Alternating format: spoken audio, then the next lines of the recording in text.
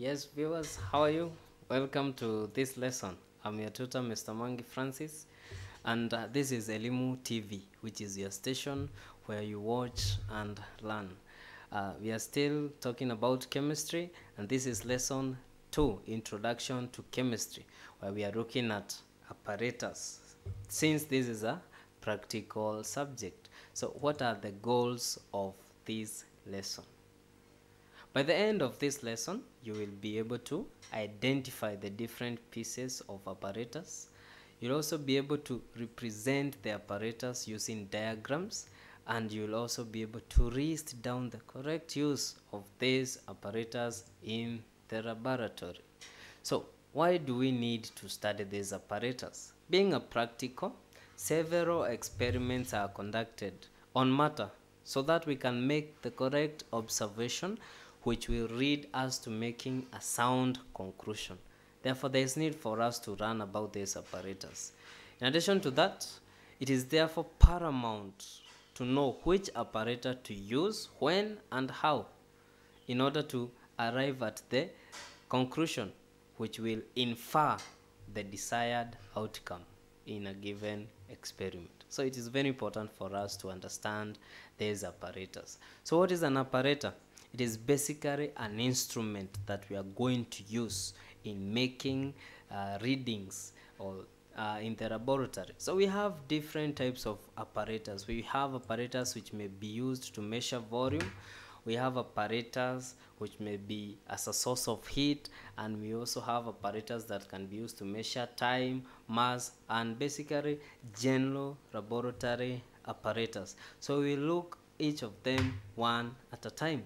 So let's start with apparatus used to measure volume. On our screen there you can see we have a measuring cylinder, a graduated measuring cylinder. That is one of the apparatus used to measure volume. We also have a syringe. We also have a burette, a pipette and a volumetric flask.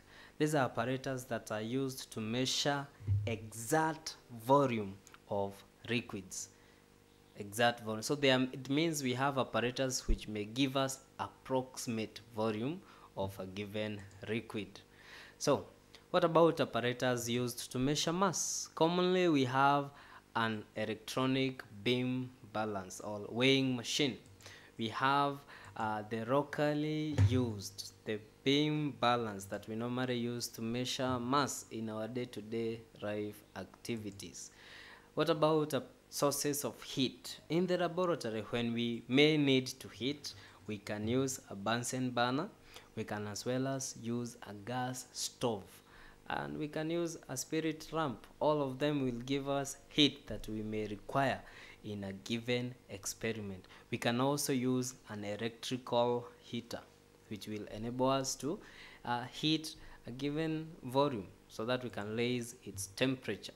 Then we have general laboratory apparatus, which may range from a tripod stand, a complete stand, clamp and stand. We may have a, a micro, uh, microscope. We have vernier calipers, micrometer, screw gauge. We have a, a post pestle and mortar.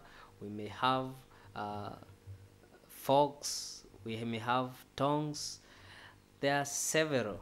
Remember this is general laboratory apparatus. So we need to stick to one at a time which we are going to do in the following and as in the pro, uh, in the preceding lesson. So one thing you will realize that most of the laboratory apparatus are made up of uh, glass so it is very important for us to understand why this is so. One thing is that glass is an reactive to most laboratory reagents, most lab reagents and apparatus. And also, uh, it is visible and transparent. So it is possible for us to see what is taking place in a given reaction. This enables us not to break some of the laboratory rules. For instance, don't look directly. Instead, that's why we have the glass being visible and transparent. So, did we understand these uh, objectives of this lesson? So, can we maybe uh, try and answer these questions? Give it a try and it will test you whether you have understood this lesson. So state at least three apparatus used to measure volume approximately and we have volumes uh, apparatus which can be used to measure volume exactly. State the reason why most laboratory apparatus are made up of uh, glass mat material. So for more information concerning or where you can get these apparatus you can refer to secondary chemistry uh, students book one. And you can as well as refer to patel. This will give you each apparatus with its use. For more information and lesson 3 and 4 onwards to from 2 3 and 4 you can reach us through an sms you can as well as find us on youtube or you can visit our facebook page or send us and uh, or tweet us at elimu tv underscore ke thank you for watching. Stay tuned to the next lesson